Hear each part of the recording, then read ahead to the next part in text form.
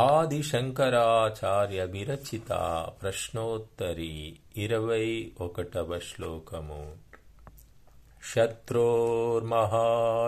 శత్రోర్మహాశత్రుతమోస్తి కో వా కామः సకోపానృతలోభతృష్ణः न पूर्यते को विषयैः स एव किं దుఃఖమూలం మమతాభిధానం. లోకంలో శత్రువులలోకెల్లా నిజమైన గొప్ప శత్రువు ఎవరు? క్రోధం అసత్యం లోభం కోరిక. అంటే కోరికయే గొప్ప శత్రువు.